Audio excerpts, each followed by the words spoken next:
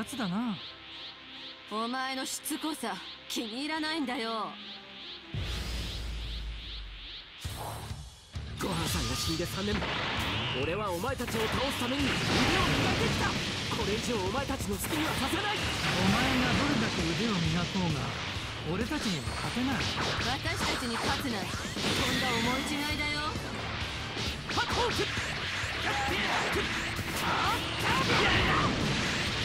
ほうどこ見てんの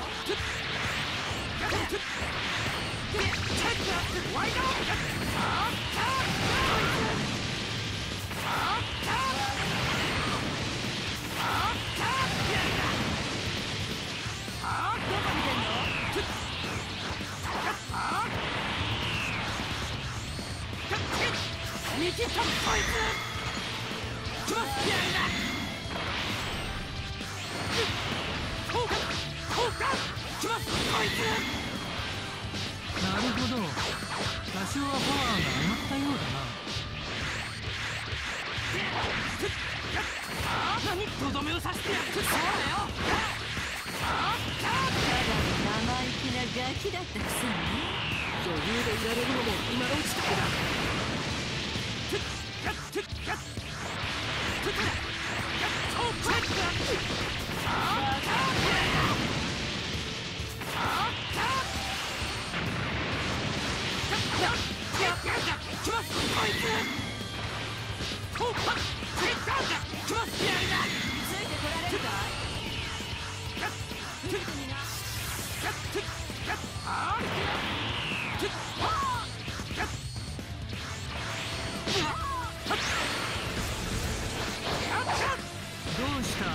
俺たちを倒すんだろ？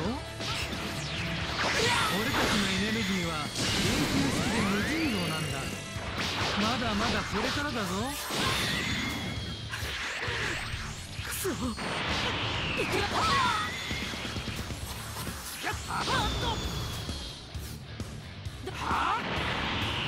蹴りをつける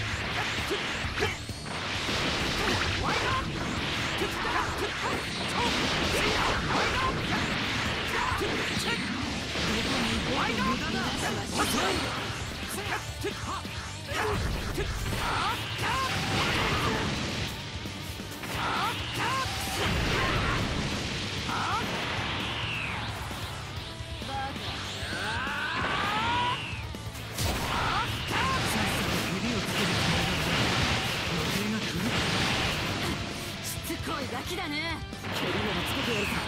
俺がお前たちを倒したら。逃げ出そうこれは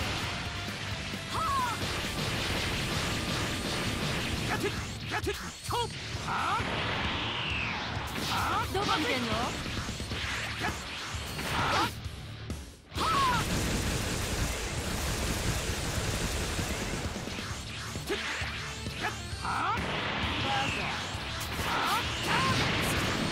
もうすぐ敵を取れるもう勝った気でいるのかいそうだ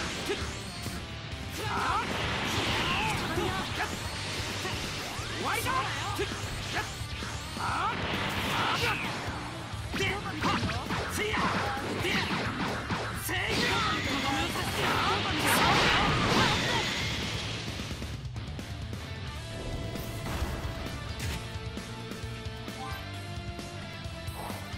ごはんさんが死んで3年。俺はお前たちを倒すために腕を磨いてきたこれ以上お前たちの好きにはさせない。お前がどれだけ腕を磨こうが俺たちには勝てない。私たちに勝つなんてとんだ思い違いだよ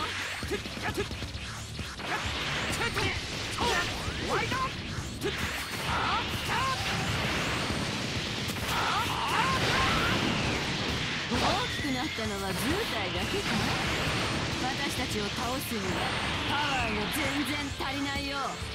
どこ見てんの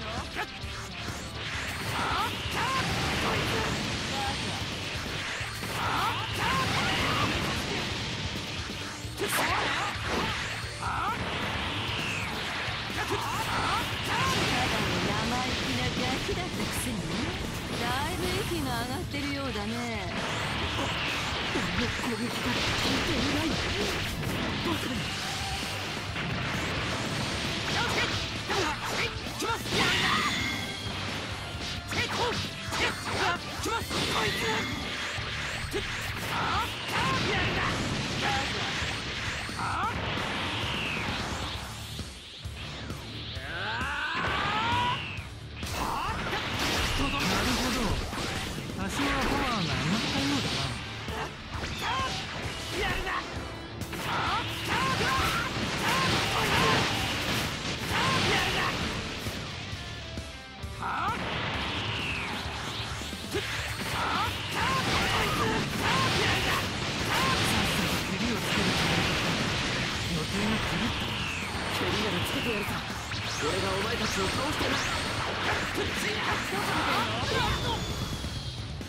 Ah!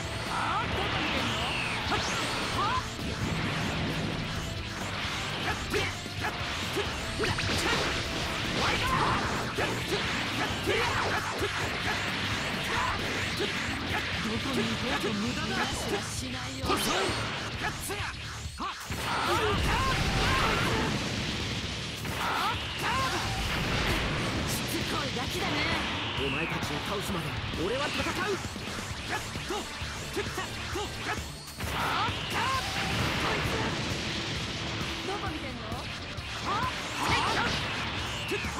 こいつから逃げる俺たちの本当の恐ろしさを分からせて口だけはまだ余裕みたいだな逃げられるかなそうッチったてっッチったてった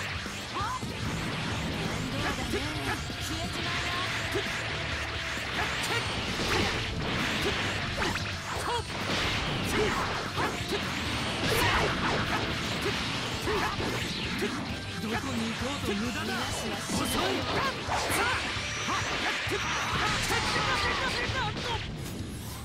こまでも追い詰めるぞ。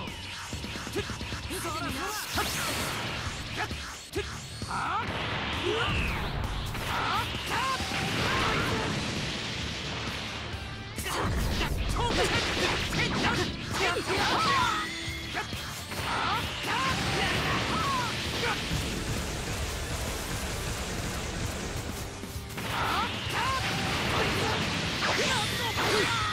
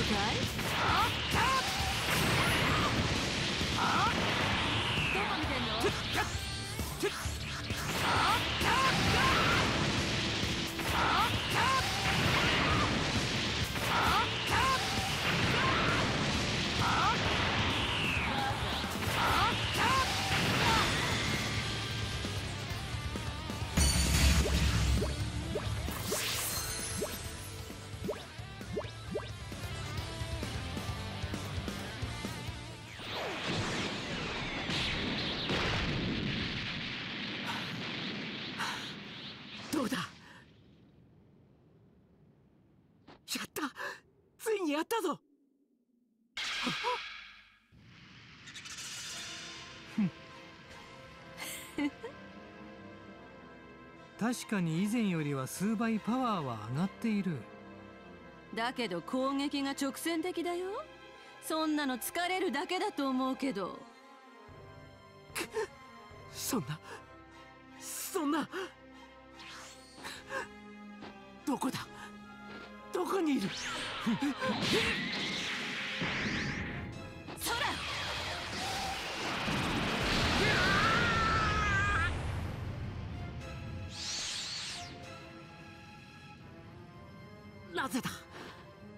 のために人間を襲う。ドクター・ゲロは世界征服のために俺たちを作ったようだがそんなことは関係ない。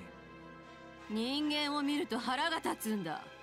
私たちは人間が嫌いなんだよ。そんなことのために。許せない。許さない。俺が甘かった俺だけの力じゃ足りなかった。人造人間との差ははるかに大きい。ごはんさんの死から俺は何も学べていない。やはりタイムマシンで過去に行かなければ。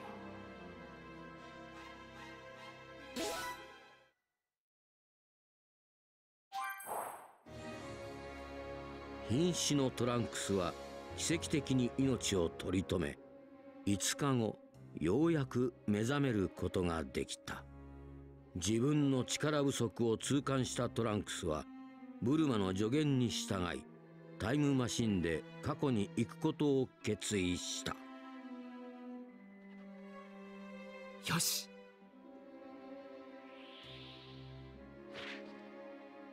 心臓病の特効薬。間違いなく孫君に手渡してあげてね。あまり無理しちゃダメよ。はい。母さんも気をつけてください。じゃあ頼んだわよ。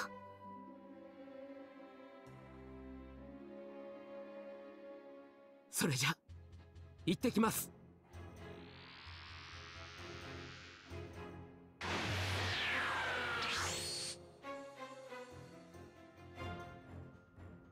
こうして過去に向かったトランクスは地球を襲撃に来たフリーザたちを撃退し若かりし頃の父ベジータや母ブルマらと出会う。その後地球に帰還した悟空に心臓病の特効薬を渡し3年後に起きる人造人間襲来を警告するという目的を無事に果たした。トランクスは別の世界の未来に変化が起きることを期待しつつ母の待つ現代へと帰還した。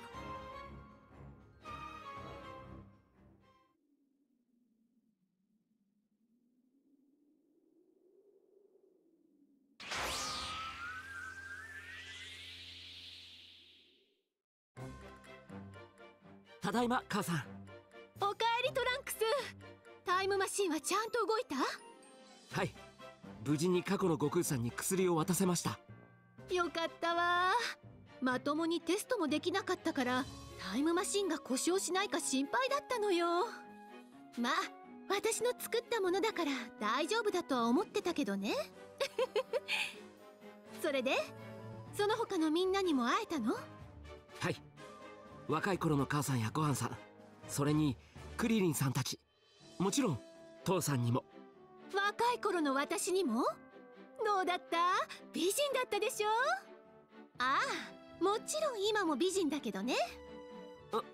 うん。すぐに俺を信用してくれました。血のつながりみたいな何か感じてくれたのかもしれない。そそうね。多分そうじゃないかしら。私のことだしあまり何も考えてないかも。えー、っとベジータにも会えたのよね。どうだった？結構嫌なやつだったんじゃない？そうだな。嫌なやつとまでは思わなかったけど気難しくてプライドも高そうな雰囲気だったな。まあそうね。それに近寄りがたい感じだったからあまり話せなかったよ。俺の正体を明かすわけにもいかないし。ただ会えたことはやっぱり嬉しかった。そっか。でもまああまり話さなくてよかったんじゃない？話しかけたらもっと不機嫌になってたかもよ。やっぱり気難しい人だったんだね。まあね。でもただの冷たいだけの人ってわけでもないんだけど。そうなんだ。もっと話ができればわかるのかな。とにかく次は向こうの世界に人造人間が現れた時間に行ってみんなを応援しないと。悟空さんたちが人造人間とどう戦うのか。せめて弱点なんかが分かればいいけど。それじゃあ早速タイムマシンのメンテナンスをしてまた往復分のエネルギーをチャージしなきゃね。もう少し先になると思うけどあんたは次に過去に行く準備をしておいてね。ああそうするよ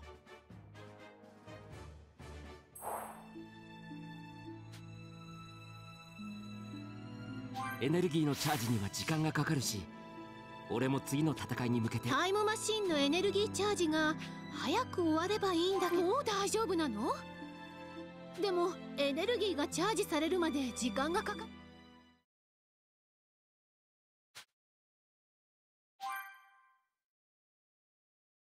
やっと往復分のエネルギーがチャージできたわね。これで孫くんたちの応援に行けるわよ悟空さんたちが無事だといいけど。きっと大丈夫よ。もしかするともう人造人間なんか倒しちゃって平和になってるかもよ。それだったら悟空さんたちを連れて戻ってくるのもいいかもしれないね。タイムマシンの店員は一応一人だけなんだけど。孫くんたちなら無理やり乗ってきちゃいそうね。孫くん強い敵と戦うのが何よりも好きだったから確かに悟空さんのあの性格ならそういうことをするかもしれないな。でも戦いが終わってなかったら今度はあんたもみんなと一緒に戦うことになるんでしょ気をつけてね。あまり無茶しちゃダメよ。はい。母さんも気をつけて。俺必ず無事に帰ってくるよ。この世界の平和も取り戻さないといけないからね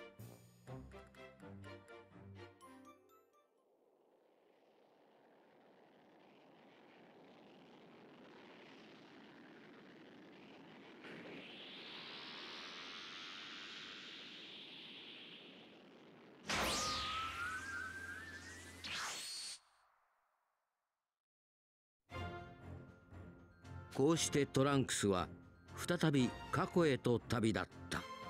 そこでは見知らぬ人造人間たちの出現や性格の変化した17号18号など予想以上の出来事が待ち構えていた。さらに17号たちを超える凶悪な敵セルの出現は人類の存亡をかける危機へと発展していった。しかし悟空たちはさらなる修行を重ね中でも特に成長したご飯のスーパーサイヤ人を超えた力によってセルの脅威を排除した。平和な世界を取り戻したことを見届けたトランクスは修行で得た力とともに元の時代へと帰還していった。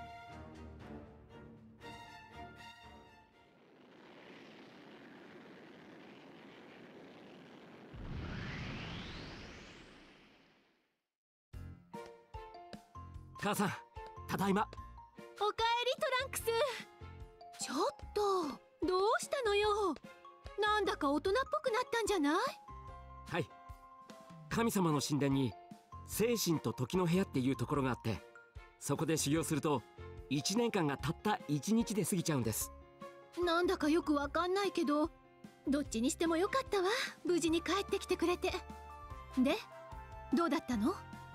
その顔だといいことあったみたいだけど。はい。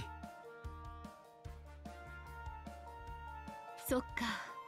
結局孫くんは死んじゃったのか。でもごはんくんが敵を撃ったのね。はい。父さんはやっぱり母さんの言ったようにただの冷たい人じゃありませんでした。え？父さんが敵を前にした様子を初めて見た時正直言って冷酷で心底悪いやつだと思いました母さんや赤ん坊の俺が危険な目にあっても助けようとせずに敵のことしか考えてませんでしたから。あらら。まあらしいといえばらしいわね。でも1年ほど2人きりで修行した時周りを寄せつけず自分にも厳しい不器用な寂しさを感じたんです。そうね。確かにそういうところはあるかもね修行を始めた頃は相手にもしてくれませんでしたけど少しずつ俺の力を認めてくれたみたいです。それこそ何度も本気で手合わせしたりたまに少し話もしたり。話？どんな話をしたの？えっと話といってもいつも俺が一方的に話しかけてただけです。父さんは「そうか」とか「ふん」とかばかりであまり会話にはなってませんでしたねまったくベジータらしいわね。だけど修行の終わりの方で。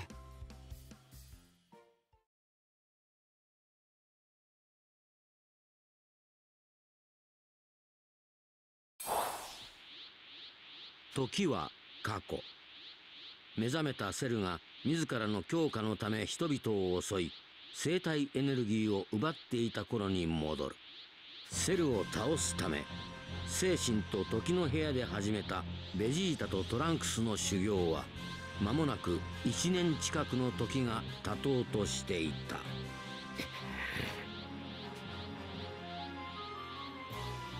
全力で来い。はい。父さん行きます。分かっていると思うが出身など許さんぞ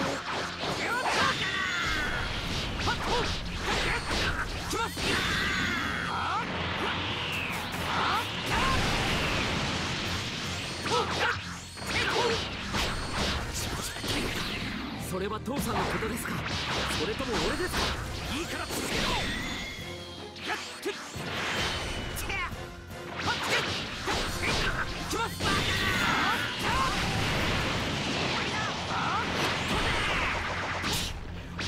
少しは成長したかそれが本気だと俺を舐めているのか。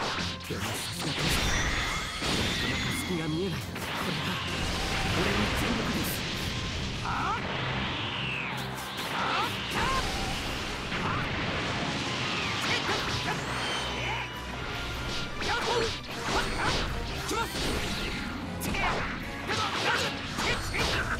大体の感触はつかめた。だがやはり足りんな。お前は当然としてこの俺もだ。父さん。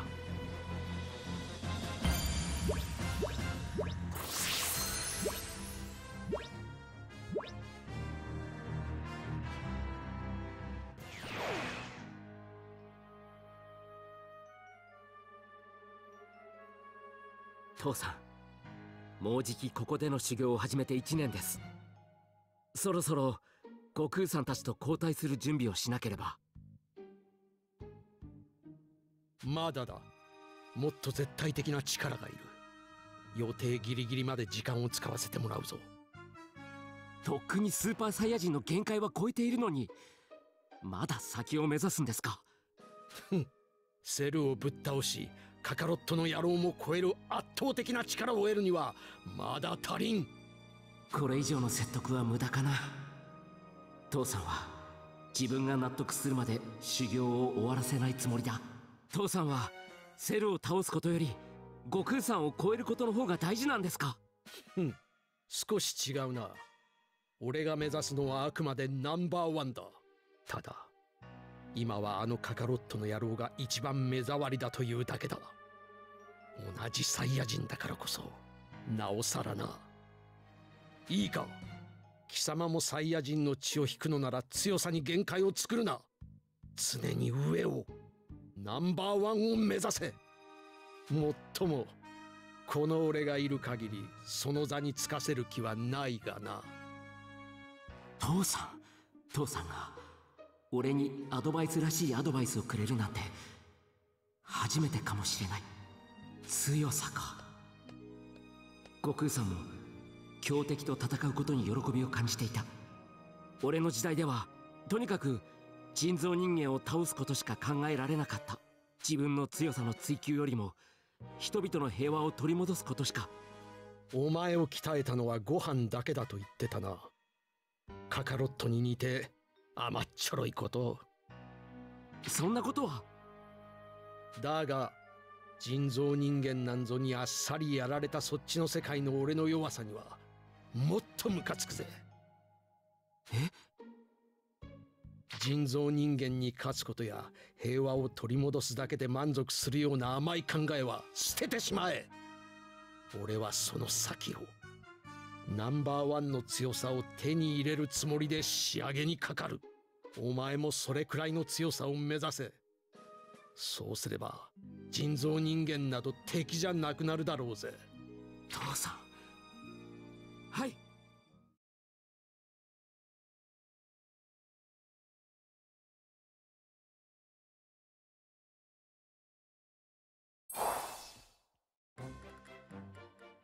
そう。そんなことがあったんだ。本当に分かりにくいやつなんだから。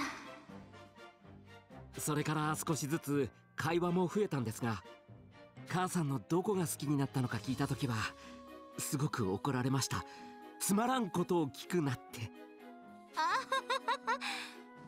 それに俺がセルにやられた時真剣になって怒ってくれたんです。でしょ？だからそう言ったじゃない。はい。へへえ。あのベジータが。あいつそんな一面もあったんだ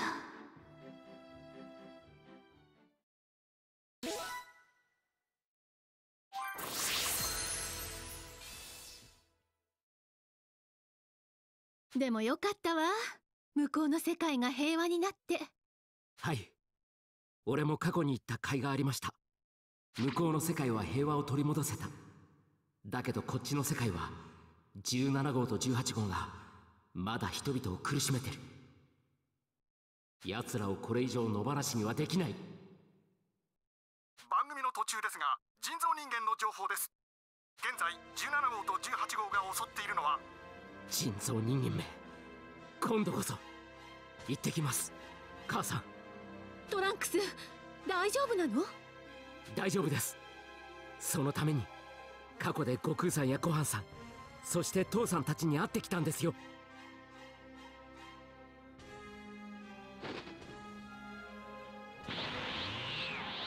過去だけじゃなくこの時代も平和にしなくちゃ。気をつけてトランクス無理するんじゃないよ。はい。今度こそご飯さんやみんなの敵を取る。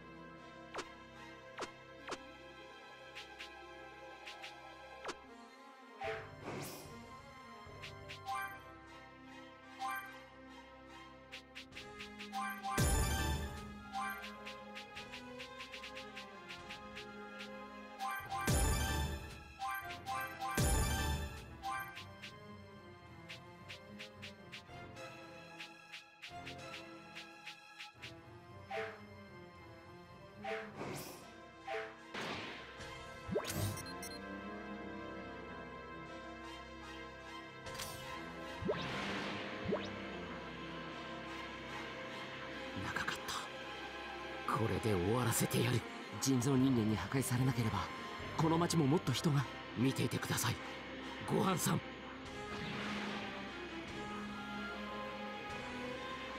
見つけたぞ。人造人間。過去で父さんや悟空さんたちから学んだ力。今こそ人造人間にぶつけてやる。